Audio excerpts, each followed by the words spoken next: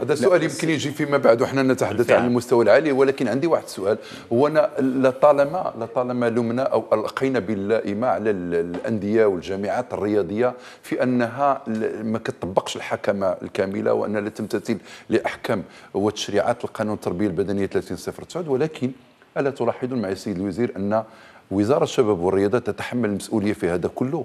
لما نتكلم على آه، إجراءات أو أو نصوص تطبيقية. نعم. لا تصدر إلا بعد عشر سنوات من صدور قانون التربية البدنية والرياضة. ألا تعتقدون معي أن الوزارة تتحمل في هذا مسؤوليه يعني. وربما هذا يطرح سؤال. هل الوزارة وزارة الشباب والرياضة تتوفر على الخبرات القانونية الضرورية للتعامل مع مثل هذه الأشياء لأنه كل شيء يدار بالقانون. لما القانون ما كيطبقش الرياضة أول واحد كيم أول آه، آه، مجال كيمكن له يتضرر. وزارة الشباب والرياضة فيها طاقات وفيها خبرات.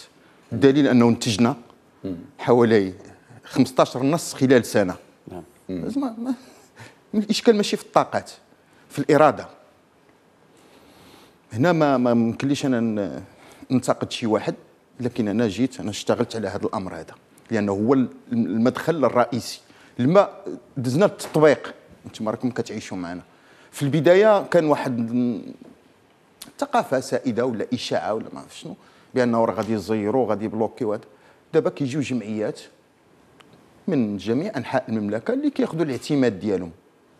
لأن المكونات ديال الجامعة هما الجمعيات المعتمدة. طبيعة الحال. خصها تكون معتمدة من طرف وزارة. الشباب والرياضة. عاد باش تمارس الرياضة. باش تمارس الرياضة لأن عندها شروط. ماشي كتمارس الرياضة يعني بالشكل هذاك كنسميوها الرياضة الجماهيرية اللي ما كتدخلش في المنافسات.